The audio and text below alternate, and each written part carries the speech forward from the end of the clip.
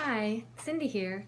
So today I'm going to show you how you can use a hot fix applicator to put rhinestones and studs on all kinds of fabrics from jeans and shorts to cloth purses or some vinyls, nylon, stuff like that.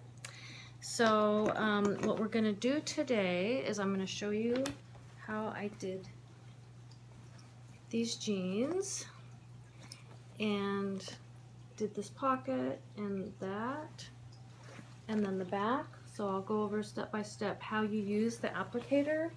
Um, other projects I've done just to give you some ideas is I did this backpack.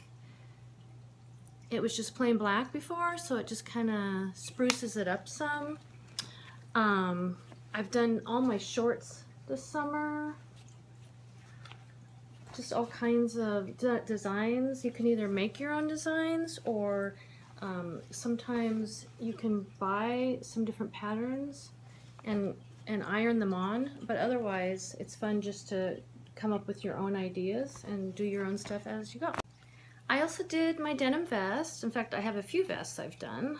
Um, by adding the hot fix stones on. Um, the only fabric I wouldn't do the hot fix embellishments on is leather.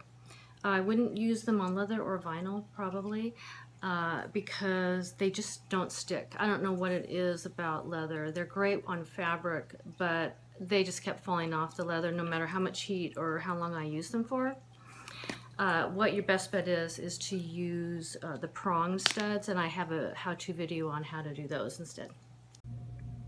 As far as tools go, obviously you need to have the hot fix rhinestones. You want to make sure they are the hot fix, meaning there's some glue on the back.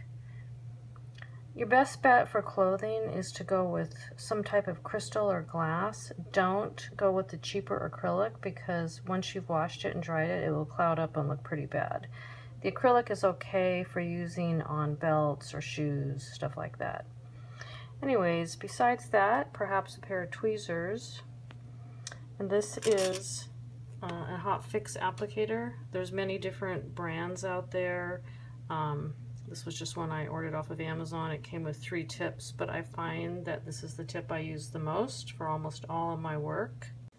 To change out a tip, they just simply unscrew and then you can screw a new one in like that. These get really, really hot, so you'll have to use a pair of um, tweezers or pliers or something if you ever try and switch them out while it's already been heated. If you end up needing to do a large area, sometimes it's easier just to line up uh, like a whole pocket or whole area on your fabric and use a small, uh, this is a really small iron I actually just picked up at Target.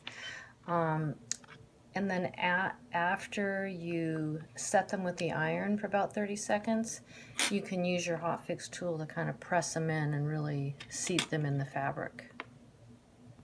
Alright, so I have this uh, pair of faded black jeans and I think what I'm going to do is I'm going to put a bunch of uh, just the silver studs on the small pocket. Alright, so I've laid out my first row. You just take your applicator and you want to gently but firmly press it.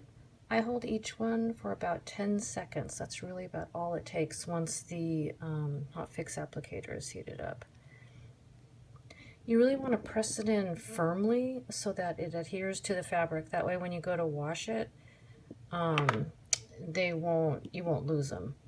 You might lose one or two the first couple times you do a wash, but after that, they usually set really well and, and they should be able to be washed without continually coming off.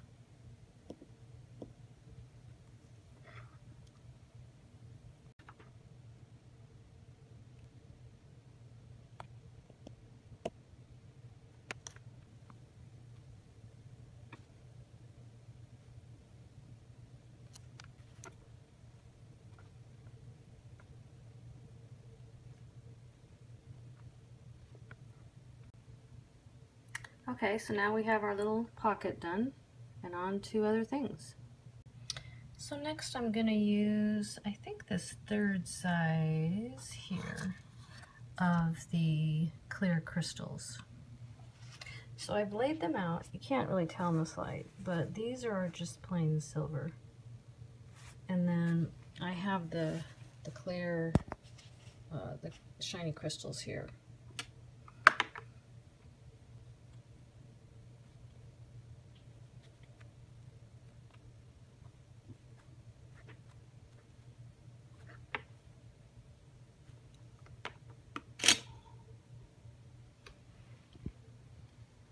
Starting to look really nice.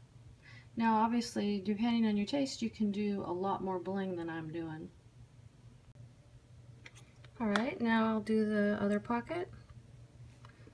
Just a reminder, you will be doing, you want to hold each one for about 10 seconds very firmly so it really sets into the fabric. This is greatly sped up so it doesn't look like I'm holding it for very Alright, so the front is done I, as much as I want them to be. Now we'll go on to the back. Silver jeans already kind of have their back pockets decorated, so I think what I'm going to do is just run some crystals along the S, uh, maybe do something up here. I haven't decided yet. Okay, so the back I ended up uh, doing halfway through the S like that and then doing the top. So these are the crystals these are the metal and I like to go midway and up on the pocket just because it draws the eye up the butt instead of down